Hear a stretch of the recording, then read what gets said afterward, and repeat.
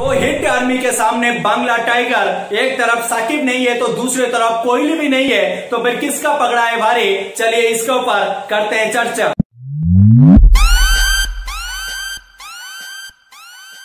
स्वागत है सारे दर्शकों का, और आप लोगों ने बहुत सारे प्यार दिए हैं। वर्ल्ड कप की सफ़र से ये क्रिकेट वाणी का सफ़र शुरू हुआ था, और आप लोगों ने इतना प्यार दे के इस क्रिकेट वाणी को आगे लेके गए और ऐसे ही आप प्यार देते रहिए, क्योंकि क्रिकेट वाणी वापसी कर चुका है। और मैं आपको एक ज़रूरी बात बता दूँ कि मेरा जो फेसबुक पेज क्रिकेट वाणी का है, वो कुछ दिनों के लिए ब्लॉक हो चुका है। तो फिर आप मेरे को वहाँ पे भी फॉलो करते रहिए। आप यूट्यूब पे आके मेरी चैनल को सब्सक्राइब कीजिए नोटिफिकेशन की घंटी को भी दबा दीजिए। इंस्टाग्राम पे भी आप मेरे को फॉलो कर सकते हैं तो फिर नीचे सारे लिंक दिया हुआ है तो फिर आप फटाफट उस काम को कर लीजिए। उसके बाद हम आते हैं मुद्दे को ऊपर मुद्दा क्या है कि इंडिया वर्सेस बांग्लादेश पहला T twenty Arun Jaitley stadium Firoza Kotla Kotla की कतवाली पे कौन बनेगा कतवाला? इसके ऊपर हम आज चर्चा करेंगे। तो फिर देखिए, एक बड़ा झटका लग चुका है बांग्लादेश क्रिकेट टीम को, क्योंकि ऐसा लग रहा था कि ये जो टीम है, ये लड़ाई कर सकता है, क्योंकि पिछली बार जब निदाश ट्रॉफी हुआ था, वहाँ पे एक रोमांचक का मुकाबला हमको देखने के लिए मिला था। फाइनल मुकाबला पे वो फाइनल टॉस दिए थे दिनेश कार्तिक। सौम्य सरकार थे, गेंदबाज और क्या मज़ेदार मुकाबला हमको देखने के लिए मिला था। और उस मैच को इंडिया जीत के निदाश ट्रॉफी का विनर बना था। और ये टीम जब भी ये पड़ोसी टीम भिड़ता है तो फिर आपको वो जोश, जज्बा सब कुछ देखने के लिए मिलता है। लेकिन ये ये जो कुछ दिन का सफ़र है ना, ये थोड़ा सा कहानी को पलट पलट चुका है। क्योंकि साकिबुल हसन जो कि एक नंबर वन ऑलराउंडर हम मानते हैं, चाहे टेस्ट पे हो, चाहे वनडे पे हो, चाहे टी ट्वेंटी पे हो, और उनका बैंड होना, दो साल की बैंड लगना, ये थोड़ा सा बांग्लादेश क्रिकेट के इतिहास को एक बड़ा झटका लगा है। बांग्लादेश पे तो खलबली मच चुका है, ये सिर्फ़ बांग्लादेश नहीं क्रिकेट के इतिहास पे ऐसा कभी भी नहीं हुआ था। लेकिन ये थोड़ा सा गलती कर करके साकिबुल हसन, जो रूल्स को फॉलो करना चाहिए था, जो उनका क्रिकेट बोर्ड को बताना चाहिए था, वो नहीं बताए। उस वजह से उनको दो साल का बैन लगा। उसके बाद आप देखें तमिम इकबाल जो कि इनके टीम का हिस्सा नहीं है। आ, मैं मानता हूँ कि एक धुआंधार ओपनर है। आ, लेकिन उनका नाम नहीं है। तो ये टीम थोड़ा सा साधारण लग रहा है। लेकिन क्रिकेट है कभी भी बाजी पलट सकता है। आ, क्या इंडिया को चुनौती दे पाएगा?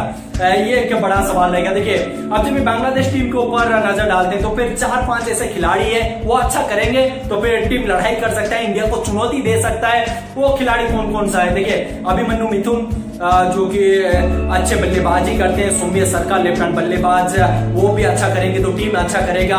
मुस्तफिजुर रहीम इस टीम का रीड का हड्डी है, बीच पे आते हैं और रन बनाते हैं। ये जब अच्छा करेंगे तो फिर बांग्लादेश टीम भी अच्छा कर सकता है। मुस्तफिजुर रहमान, जो कि लेफ़्ट हैंड तेज गेंदबाज है। इनसे थोड़ी सी बचकर रहना पड़ेगा।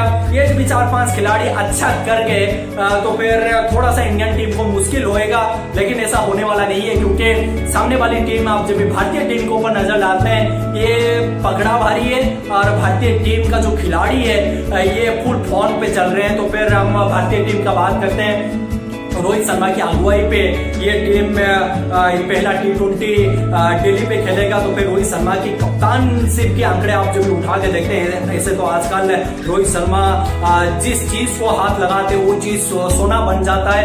और मेरे को बहुत अच्छा लगता है कि रोहित शर्मा जितने भी अच्छा करते हैं, उतना दिल को सुकून मिलता है। तो फिर Rohit Sharma all the best है लेकिन कप्तानशिप की बात करें, ये भी एक टॉप क्लास कप्तान है महेंद्र सिंह धोनी का, जैसा सोच रखते हैं। और अंतिम समय तक गेंद को ले लेके जाते हैं। तो फिर आज एक बड़ा चुनौती रहेगा, विराट कोहली टीम पे नहीं है। तो फिर रोहित शर्मा क्या टीम बनाएँगे? क्या हो सकती है प्लेइंग इलेवन इसके ऊपर एक बड़ा सवाल रहेगा क्योंकि शिवम दुबे इस टीम पे है, संजू सैमसंग टीम पे है। किसको मिलेगा मौका? हम थोड़ा सा टीम बनाने की कोशिश करते हैं। सबसे पहले रोहित शर्मा, कप्तान। उनके साथ शिखर धवन, गब्बर धवन, दो ओपनर और इनका चलना बहुत ज़रूरी है। तीसरे नंबर पे विराट कोहली नहीं है तो फिर आप किसको रखना चाहेंगे? वहाँ पे श्रेयस अयर का नाम आता है संजू सैमसंग का नाम आता है केल राहुल भी है। तो फिर मेरे विचार पे थोड़ा सा आप एक्सपीरियंस के साथ जाना चाहेंगे केल राहुल अभी जो रणजी मैच हुआ तो वहाँ पे रन बनाए थे तो फिर के राहुल मेरा तीसरा नंबर खिलाड़ी है। चौथा नंबर पे मैं श्रेयस आयर को रखना चाहूँगा, क्योंकि श्रेयस आयर वेस्ट इंडीज पे अच्छा किए थे तो फिर श्रेयस आयर चौथा नंबर पे देखना चाहता हूँ मैं। पाँचवें नंबर पे ऋषभ पंत ऋषभ ताबड़तोड़ पंत टी ट्वेंटी और फिरोजा कोटला, अरुण जेटली स्टेडियम वहाँ पे इनका रुतवा ना दो गुना, चार गुना हो जाते हैं बड़े बड़े छक्का लगाते हैं। तो फिर ये जो मुकाबला है, ये जो सीरीज़ है ये ऋषभ पंत के लिए बड़ा ज़रूरी सीरीज़ है, क्योंकि संजू सैमसंग लाइन पे लग चुके हैं। तो फिर ऋषभ पंत मेरे पाँचवें नंबर खिलाड़ी छठे नंबर पर कुणाल पांड्या। क्योंकि कुणाल पांड्या थोड़ा सा गेंदबाजी करते हैं और बल्लेबाजी एक हार्ड हिटर है। छठे नंबर पर कुणाल पांड्या, सातवें नंबर पर संजू सैमसंग का जगह तो नहीं बन रहा है। तो फिर शिवम डुबे और एक ऑलराउंडर जो कि बड़े बड़े छक्का लगाते, छह छक्का लगा के आए थे।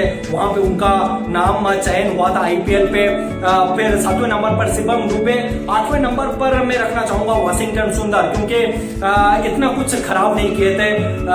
जितने भी मुकाबला खेले हैं टी ट्वेंटी पे, खास तौर पर, वहाँ पे उन्होंने कमाल की गेंदबाजी की है पावर प्ले पे। थोड़ा सा सिकंजा कसे हैं और विकेट भी निकाले हैं। आठवें नंबर पर मैं वॉशिंगटन सुंदर को रखा तो फिर तीन गेंदबाज तीन गेंदबाज पे मैं दो तेज गेंदबाज के साथ जाऊँगा।